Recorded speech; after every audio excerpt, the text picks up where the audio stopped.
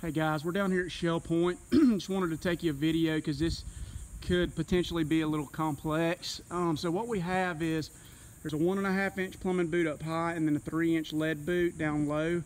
And then there is a um, newer panel, I guess, over here where the hip ties in.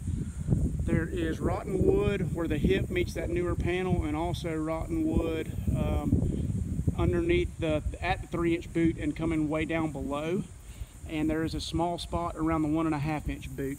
So as you can see, this is a very tall building. I'm gonna go um, see about the potential of getting a lift so that we can get you something up there. And this roof is painted and is old and has got chalk on it now. So it's gonna be imperative to be safe, to hide off and have something down at the bottom in case you do go.